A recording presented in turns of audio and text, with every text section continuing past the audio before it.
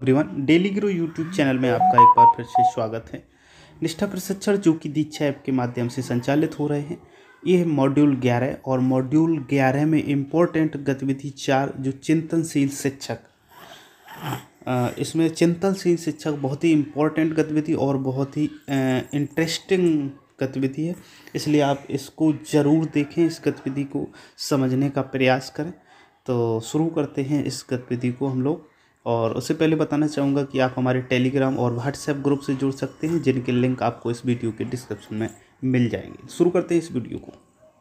इस वीडियो में देख रहे हैं आप, गतिविधि चार जो मॉड्यूल ग्यारह, भाषा का शिक्षा शास्त्र के अंतर बहुत इंपॉर्टेंट है। स्वयं चिंतन बिंदु है, इसमें चिंतनशील जो शिक्षक होता है, वो किस प्रकार से अपने छात्रों के बारे में, अपने पर्यावरण के बारे में, अपने बच्चों के बारे में और अपने विद्यालय के पर्यावरण के बारे में किस प्रकार से चिंतित होता है और क्या क्या क्रियाएँ करता है? जैसे फ़र्स्ट नंबर क्रिया है क्या आपको याद है? आप स्वयं अपना खुद का विश्लेषण करिएगा तो उसके बाद में आप बच्चों पर कोई चीज़ अप्लाई करिएगा।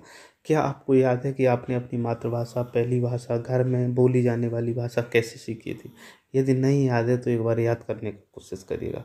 दूसरा पॉइंट है, क्या आप विशिष्ट परिस्थितियों को याद करते हुए अपनी मातृभाषा, पहली भाषा, घर में बोली जाने वाली भाषा भाषा सीखने से जुड़े अनुभव साझा कर सकते हैं।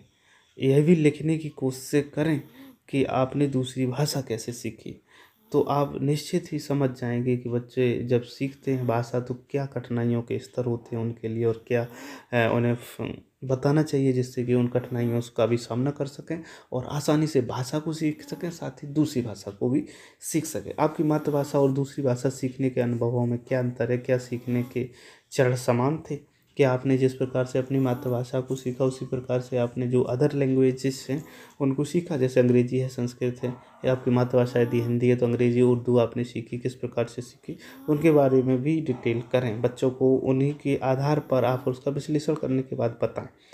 क्या हम कक्षा में बच्चों द्वारा बोली जाने वाली भाषा का उपयोग कक्षा के कक्षा में भाषा, शिक्षण और विषय वस्तु पढ़ाने के लिए कर सकते हैं। बिल्कुल कर सकते हैं और करना भी चाहिए।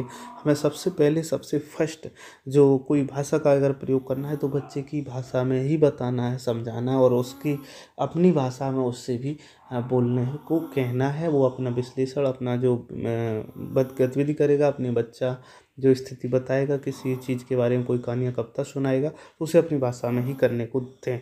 जिससे क्या होगा, जब वो मातृभाषा अच्छे से उसकी मज़बूत पकड़ हो जाएगी तो उसके बाद में अदर भाषाओं को सीखने में उसका वो प्रयोग करेगा। तो उम्मीद करता हूँ इस प्रकार से आप इस गतिविधि को भी लेंगे और इससे बहुत कुछ हासिल करेंगे।